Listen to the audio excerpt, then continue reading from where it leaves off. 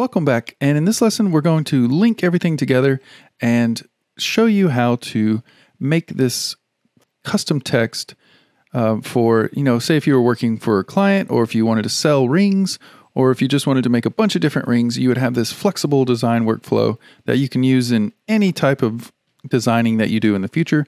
But this is just a simple technique that I use all the time that I want to share with you.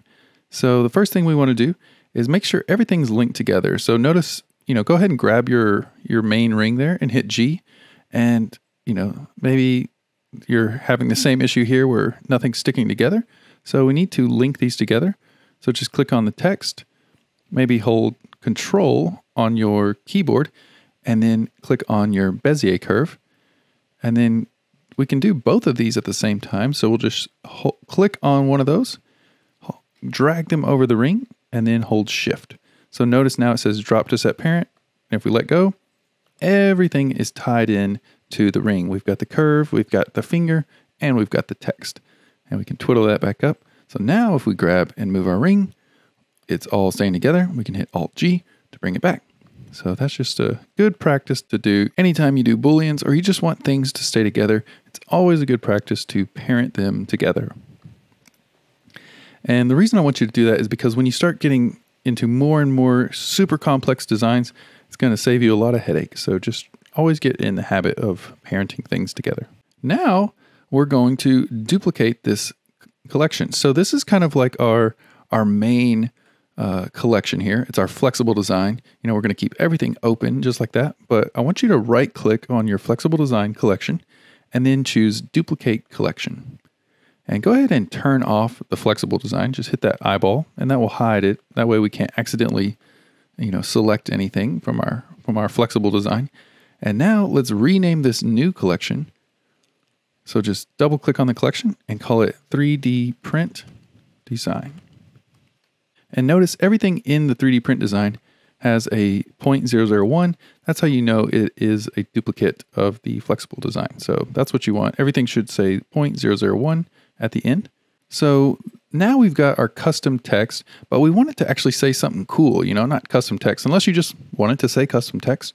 But let's put something like our name, or you can put your company, or like a favorite quote you have, or your Instagram. It could be anything. So what we want to do is click on the text and then hit tab. And notice what happens. The text goes flat again. And that's because we're in edit mode. So you can, you know, kind of toggle back and forth and uh, you know see that happening. And what that is doing is that it's giving you the ability to change it. So let's just hit backspace while you're in edit mode, and now let's type something else. So you can put your name.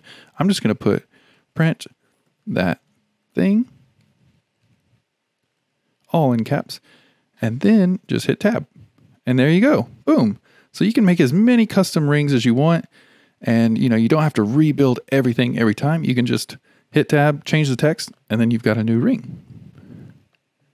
And then sometimes, if you say if you wrote something really long, um, then you can just uh, come back to object mode, hit S, and kind of just scale that around, you know, and that way you can get everything to fit. So sometimes, you know, it might, if you wrote something really long, it might be overlapping. Just scale it on down and just kind of lay it in there, you know, just kind of eyeball until you like what you're seeing. So I'm going to go ahead and save. And so now let's Boolean these two items together. Let's take our text and Boolean it to the ring. So just make sure you still have your text selected and then hold shift and click on the ring and then do control plus. But notice nothing happened. We didn't get our little wireframe. And if we go to our ring layer, there's no new Boolean that showed up. So the reason for that is if you look at our text layer, it's got this little curve here. It's like a dot with a little curvy line with a dot. And in Blender, that represents a curve. So um, it's kind of like it, Blender doesn't see this as an actual mesh or actual geometry. It just sees it as text. So we need to tell Blender to make this into geometry. And an easy way to do that is just right click on the text and say convert to mesh. And then watch what happens to this little symbol right here. So I'll right click on it, convert to mesh, boop, and now it's turned into a triangle. And that little icon represents a mesh in Blender's eyes. So now we should be able to boolean these objects together. So just make sure you still have your text selected. Hold shift on your keyboard and select the ring and do control plus, And there we go. We've got a nice boolean operation and this is actually 3D printable.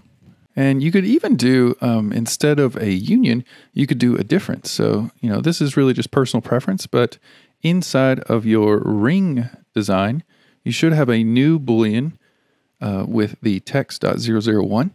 And you want to just change that to difference, or you could do union, um, either one, whichever you prefer. If you want your text to stick out, then do union.